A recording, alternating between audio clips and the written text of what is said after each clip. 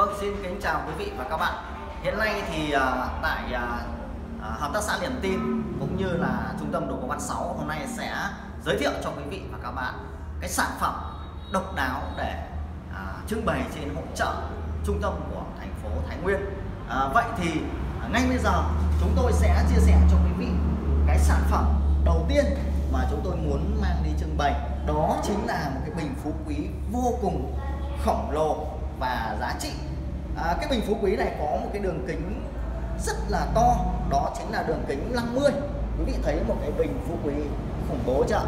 Chúng tôi sẽ à, đem cái bình phú quý này để đi trưng bày ở hội trợ thế cho nên là một trong những cái bình tứ diện là lưu hoa. Quý vị có thể nhìn thấy ở xung quanh đây 100% là lưu hoa tự nhiên mà chúng tôi không có kẻ vẽ bất cứ một à, cái điểm nào hoàn toàn 100% nó là lưu hoa tự nhiên hoàn toàn.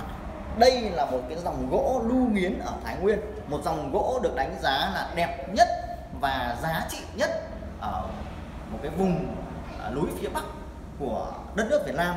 Thế thì à, trong cái sản phẩm mà chúng tôi mang đi trưng bày thì hôm nay chúng tôi sẽ giới thiệu cho quý vị hai cái sản phẩm đầu tiên để đi trưng bày về triển lãm à, các cái sản phẩm độc đáo.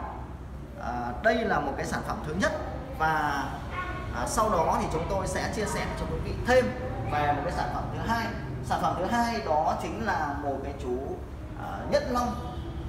Đây là chú nhất long vần ngọc. Quý vị có thể được đánh giá là một chú nhất long đục trạng vô cùng tinh xảo. Cái giá trị của chú nhất long thì chúng tôi luôn luôn thể hiện cho quý vị thấy sự uốn lượn dáng vẻ của chú Nhân Long nó hùng vĩ như thế nào đúng không ạ? Và cái điều đặc biệt trên cái tác phẩm đó chính là cái hàng lu của cái dòng gỗ này. Và quý vị có biết được đây là dòng gỗ gì không ạ? Và tôi sẽ giới thiệu cho quý vị luôn về cái dòng gỗ này. Đó chính là gỗ lu xá xị một dòng gỗ vô cùng thơm và giá trị ở miền Nam đất nước Việt Nam.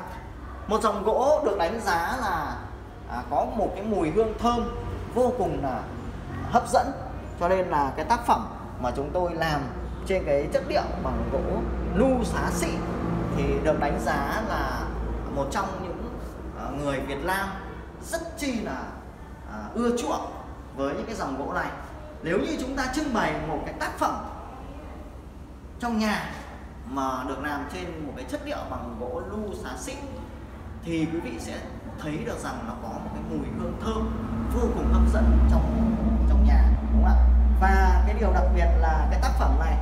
Thì ngay ngày hôm nay vào ngày 4 tháng 12 năm 2020 chúng tôi sẽ chuyển lên trung tâm thành phố Thái Nguyên để triển lãm cái tác phẩm này trên một cái hội trợ triển lãm về các cái sản phẩm độc đáo của uh, mảnh đất Thái Nguyên.